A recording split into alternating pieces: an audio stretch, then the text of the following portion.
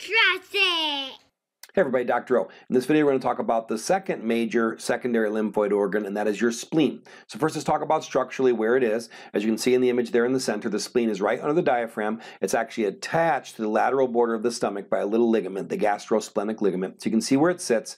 One thing that's kind of noticeable about the spleen is it has a very weak capsule around it, which makes it a fragile organ. You hear about people getting you know, their spleen bursting and football injuries, car accidents, those kind of things. So it's a pretty weak organ compared to some of the other ones. Um, so basically, we're going to break it down into two parts, the red pulp and the white pulp. It's often called the, the filter of the blood because this is where, you know, the red pulp is going to have a ton of blood flowing through it, and it's going to have all sorts of macrophages, which are the cells that grab and recycle damaged and old red blood cells. So a huge chunk of the recycling of red blood cells is going to occur here in the red pulp of the spleen.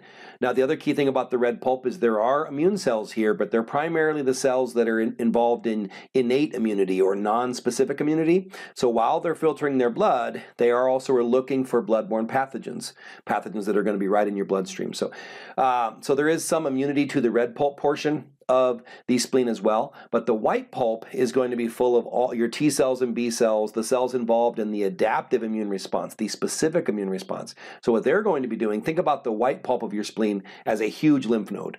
It has the same lymphoid follicles as a lymph node does, and it's going to be filtering things, looking at things, then mounting immune responses from there. So the red pulp and the white pulp of the spleen, they're really both involved in immunity, but primarily when you think of the red pulp, think of the filtering of blood.